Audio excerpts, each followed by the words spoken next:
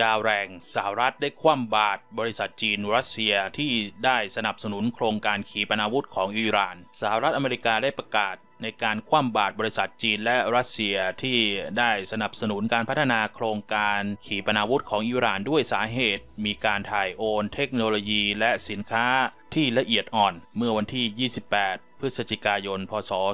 2563 สำนักข่าวอันจาซีราได้รายงานว่าไมค์ปอมเปโอ รัฐมนตรีว่าการกระทรวงการต่างประเทศของสหรัฐ ได้กล่าวโทษบริษัท 4 แห่งของประเทศจีนและรัสเซียว่า ได้ทำการถ่ายโอนเทคโนโลยีและสินค้าที่ละเอียดอ่อนให้กับโครงการขีปนาวุธของอิหร่าน เพื่อเป็นการสนับสนุนการพัฒนาโครงการขีปนาวุธของอิหร่าน จากเหตุดังกล่าวทำให้สหรัฐ ประกาศในการคว่ำบาตรทางเศรษฐกิจต่อบริษัทของจีนและรัสเซียเมื่อวันศุกร์ที่ผ่านมาวันที่ 27 พฤศจิกายน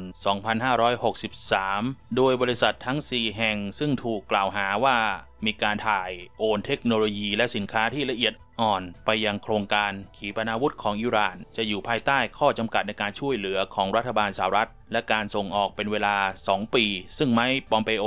รัฐมนตรีว่าการกระทรวงการต่างประเทศของสหรัฐ ได้กล่าวในแถลงการโดยการคว่ำบาตรนี้มีผลต่อบริษัทในจีน 2 แห่งคือเฉิงตู Best New Materials และ Zibo Elim Trade รวมไปถึง Nilco Group ในรัสเซีย และบริษัทร่วมหุ้น Elecon โดยเขาได้กล่าวว่าเราจะพยายามต่อไปเรื่อยๆ เพื่อที่จะขจัดขัดขวางความพยายามในการพัฒนาขีปนาวุธของอิหร่าน และใช้มาตรการคว่ำบาตรของสหรัฐเพื่อส่องไฟ ไปยังซัพพลายเออร์ต่างชาติว่าพวกเขากำลังสนับสนุนการพัฒนาขีปนาวุธของอิหร่านอยู่ เช่นหน่วยงาน เหล่านี้ในสาธารณรัฐประชาชนจีน ของจีนและรัสเซียที่จัดหาวัสดุ และเทคโนโลยีที่เกี่ยวกับขีปนาวุธให้กับอิหร่าน และในก่อนหน้านี้ปี